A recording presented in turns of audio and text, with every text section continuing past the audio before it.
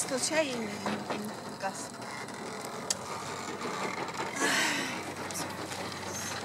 Y andado por el molino.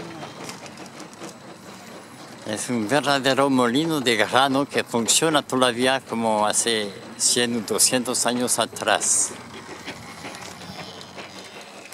Hemos venido Hemos visto.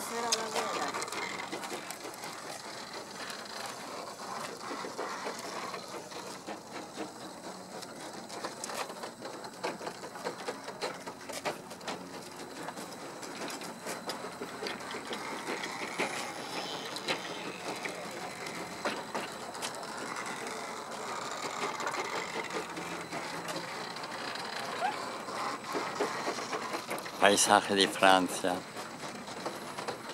Y aquí paisaje de Ecuador.